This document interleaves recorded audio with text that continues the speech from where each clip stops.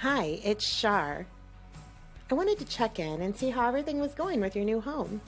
If you have any painting, plumbing, or just repair needs, don't hesitate to contact me at 515 639 0039 or email me at char.klisares at gmail.com.